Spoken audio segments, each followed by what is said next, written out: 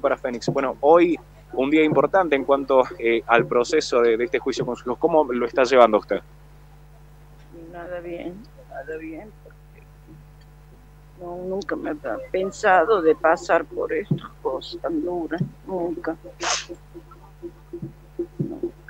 Lo que eh, se hablaba también, eh, de hecho, eh, se había viralizado en su momento esta carta que había escrito Juan José Cano eh, respecto al pedido de la Fiscalía, Fiscalía que ha tenido eh, algunas eh, actitudes dudosas en, en, el juicio. ¿cómo, ¿Qué valoración hace usted de, de, la Fiscalía?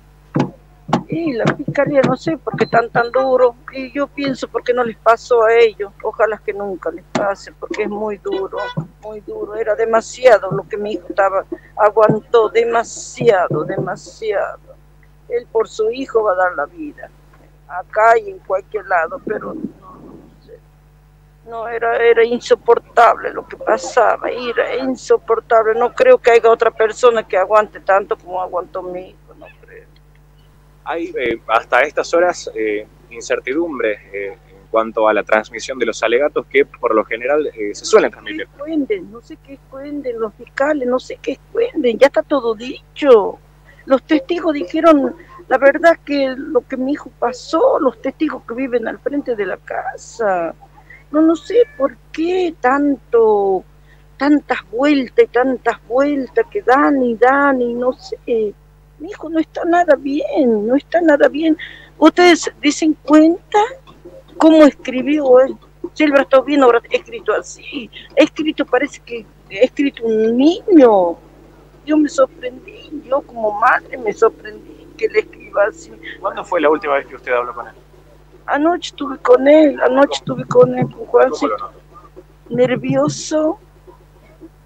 Lo llamó una mujer de Buenos Aires, puso peor, lo llamó para apoyarlo, dile que no golpeen.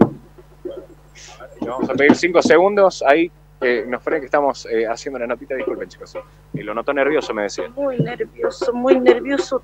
Tenía la cara transformada, transformada. Dígale que no golpeen bueno, ahí eh, se nos está interrumpiendo un poquito con eso. Sí, la cara...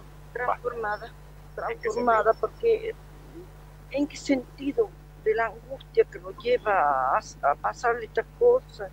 Él se muere, si tiene que quedar de vuelta a los chicos solo, se muere porque él les enseña con la tarea, los cocina, los atiende, hace las macetas él dice, si yo no estoy mami, ¿quién va a hacer la maceta por mí? Me dice él a. ¿Confían eh, en el doctor Pagotto para todo esto?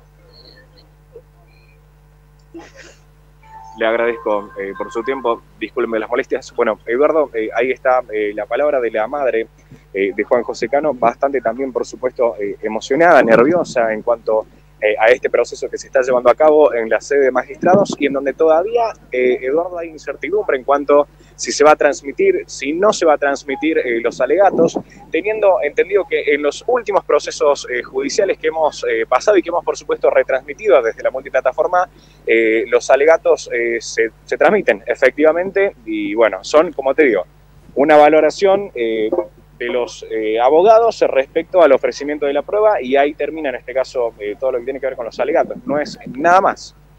Bueno, perfecto, excelente el informe Urias, como siempre, acto de presencia donde está justamente el hecho noticioso en esta, eh, en esta parte de la tarde. Describimos el tema de las condiciones eh, climáticas, donde se apare, eh, aparece una señora por detrás, eh, para que vean que está allí, ¿no? Pero por, sí. por encima de eso, de, de, describime el tema calor, viento, tierra, ¿cómo, ¿cuál es el panorama en esa zona de la ciudad?